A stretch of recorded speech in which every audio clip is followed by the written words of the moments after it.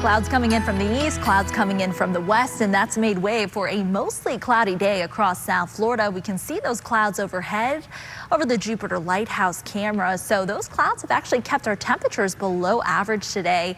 The average high should be around 76 degrees, and we only reached the low 70s today. So we do have a bit of a warming trend on our hands. Tomorrow, highs will be in the mid 70s and we'll stay in the mid 70s through the weekend. And Christmas Day, highs will top out in the upper 70s, but at least we'll stay in the 70s over the next seven days. Can't complain. It's December here in South Florida. Temperatures running in the 60s across town. We do have breezy winds, and on that breeze, a few fast moving showers moving over 95 in the turnpike right across South County. So more of the same into the night. Can't rule out the chance for a quick moving shower. Otherwise, we're pretty cloudy into the night, and that will keep our temperatures a bit warmer compared to what we felt over the last couple of nights. We'll be be down to the upper 60s through the overnight hours. Tomorrow morning, waking up to temperatures in the low 60s in some spots, but 50s up along the Treasure Coast.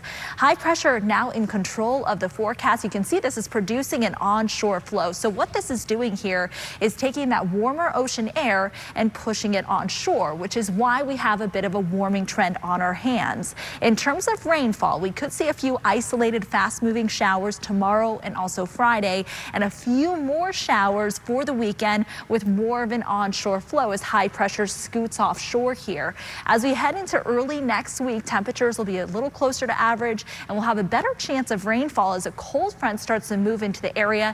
This won't sweep through until the middle of next week. So your Christmas Day forecast highs in the upper 70s, a 40% chance for scattered showers, and Christmas Eve a high of 76 degrees. Small craft advisory issued for our boaters. Seas running 5 to 9 feet, even our inland waters will be pretty rough.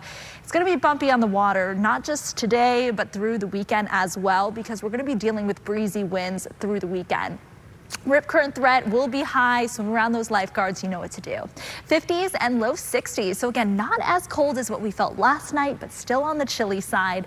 And for tomorrow, highs will top out in the low to mid 70s. So very comfortable for this time of year. The humidity will stay low over the next seven days.